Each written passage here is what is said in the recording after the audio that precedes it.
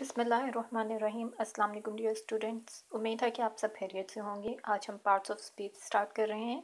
उनकी डेफिनेशन हम करेंगे page number forty eight okay और first definition is the verb verb क्या होता है? एनी एक्शन वर्ड ठीक है?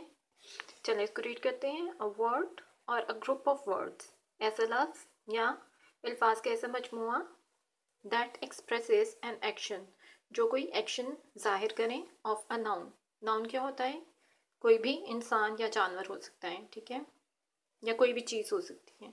उसका एक्शन ज़ाहिर करें, किसी भी नाउन का इज़ कॉल्ड अ वर्ब उसको हम वर्ब कहेंगे। जैसे for example Iqra is reading a book reading क्या है? That is a verb and number two is I write a letter write क्या है? That is a verb okay? That's all for today इसको आप अपनी copies पे लिखें NEET hand writing में, और इसको साथ साथ लर्न भी करते जाएँ। ठीक है? Take good care of your selves अल्लाह हाफिज़